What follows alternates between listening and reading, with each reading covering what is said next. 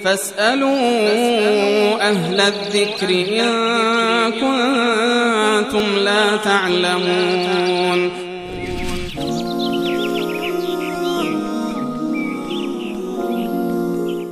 آمنه از ایران پرسیدن که دایی داشتم و ده سالگی نماز می‌خواند و انسان بسیار خوبی بود اما در آخر خودکشی کرد.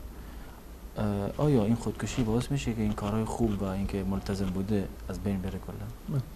این گناهی رو که ایشون در واقع انجام داده قتل نفس تفاوتی رو نداره که این قتل یک نفس در واقع معصوم باشه بیگناه باشه که کسی دیگر رو باشه یا اینکه خودش انسان خودش رو بکشد. از نظر شرعی هیچ کسی اختیار خودش را ندارد که روح خودش را جان خودش را بگیرد. و بدین خاطر است که در روایاتی از رسول الله صلی الله علیه و سلم نقل شده که کسانی که خودشان را می‌کشند با هر وسیله و ابزاری خودشان را بکشند در روز قیامت عذابشون این است که با همون ابزار خودشون رو در واقع می‌کشند.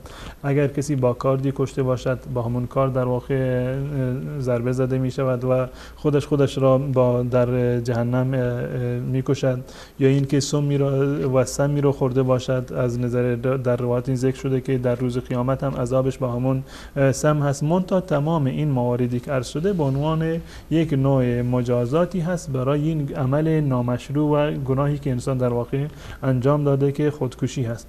بله. و این خودکشی هیچگاه به این معنی نیست که اعمالی که انسان قبلا انجام داده نماز و روزه و بقیه اعمالی که انجام داده اونها باطل باشند. این خودکشی جزء در واقع مواردی که اعمال را باطل می کنند نیست. یک گناهی هست و دربارش یک نوع وعیدی وارد شده از جانب رسول الله صلی الله علیه وسلم اما این بدین معنی نیست که کسی که خودکشی کرده جهنمی ابد و دهر است و برای همیشه در جهنم میماند. به عنوان گناهی که انجام داده مانند بقیه گناهانی که انسان انجام داده باشه در مجازاتش رو در روز قیامت می‌بیند. اما انسانی که با ایمان از دنیا رفته یعنی موحد بوده کلمه گوی لا اله الا الله بوده خداوند متعال سرانجام بعد از این که مکافات و مجازات اعمال ناشاستش رو می‌بیند خداوند متعال اونو معاف می‌کند و اینو در واقع به بهشت می‌برند.